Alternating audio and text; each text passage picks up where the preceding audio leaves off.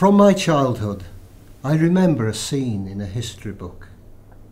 A man in chains sits in the centre of a cold flagged floor and, as if on stage, is encircled by a pool of light which streams into the gloomy cell from a window high above.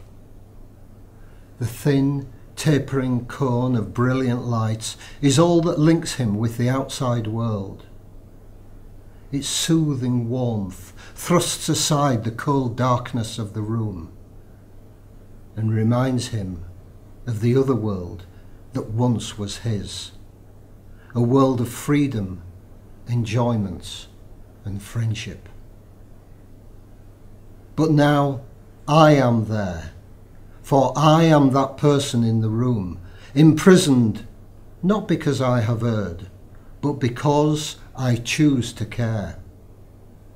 The picture in my mind is now my reality, for I am a carer.